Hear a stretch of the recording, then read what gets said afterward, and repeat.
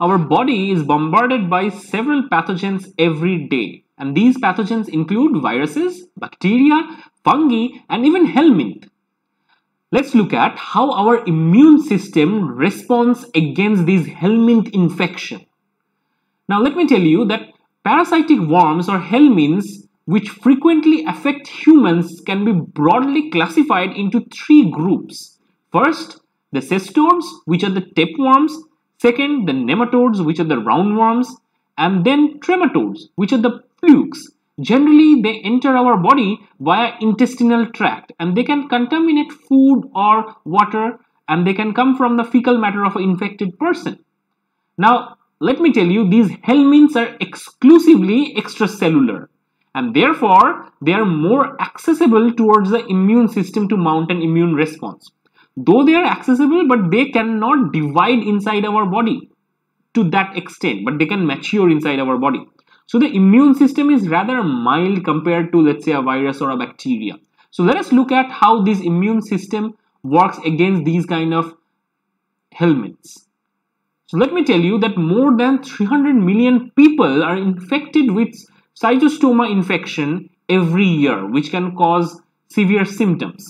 So let us look at how our body reacts to these helminth infection. Schistosoma has an interesting life cycle. They spend some amount of time in our body and sometimes they also spend in snail's tissue. And their eggs or immature forms could be also found in fresh water. So let's say you went for a swimming and you suddenly get exposed to the infectious life uh, phase of these schistostoma, which is known as cercaria. So cercaria can drill hole in your skin and can get into your system and from there it can get into your bloodstream. Now when cercaria is inside the blood it would be detected by your complement proteins which are abundant in your bloodstream.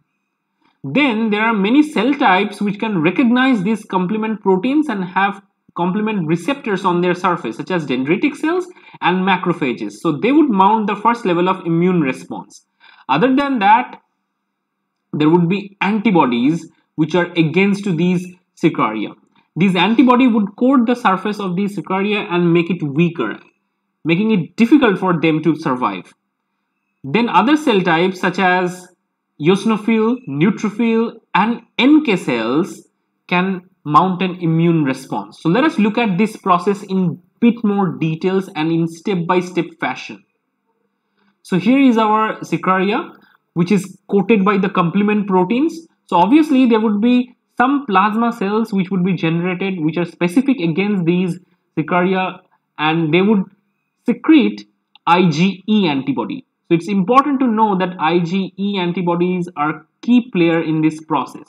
Now IgE antibody would bind to specific antigens present on the cercaria. Then mast cell which is capable of binding to uh, IgE via Fc receptor would degranulate. Mast cell would eventually recruit eosinophil, neutrophils, etc. onto these cercaria larvae because eosinophil, neutrophil both have Fc receptors and all of these can take part in antibody dependent cellular cytotoxicity responses. Now another important cell population that takes a major role in the immunity against schistostoma is the Th1 cell. Th1 cell can secrete interferon gamma, which indeed can activate macrophages. So it would increase the activity of macrophages and enhance phagocytosis. Now, other than that, eosinophil, mast cell, neutrophil, all of them can secrete certain amount of chemokines, which would ultimately attract other blood cell. By the way, while fixing complement, there are C3A and C5A, which are potent anaphylatoxin. So obviously, they can also attract other blood cells and create inflammation in the system. So due to inflammation in the system, cell types such as neutrophil and monocytes would get out of the blood vessels and they would reach the tissue space where the infection happened. So obviously what would happen is they create a strong immune response against these Cercaria larvae. Now let's look at how complement system can eliminate the pathogens. So obviously complement systems decorate these pathogen kind of opsonizing it, making it more difficult for the pathogen to survive.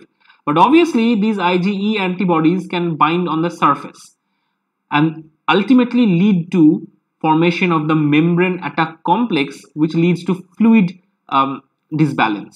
And due to this osmolarity disbalance, there would be lysis of the pathogen.